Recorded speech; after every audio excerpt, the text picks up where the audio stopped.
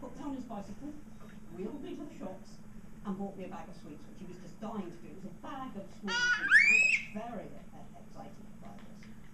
By May 1953, Oh, Britain no longer this is lovely, isn't it, grey, Jess? Yeah. nation.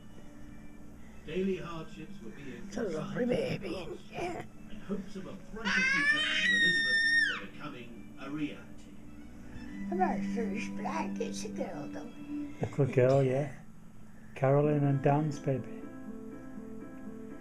He only left the house to take a walk. No obvious motive, no sign of quarrel, no evidence. Yes, you're beautiful. Her father killed her mother. Oh, you are beautiful. Her father. Yeah. Yee.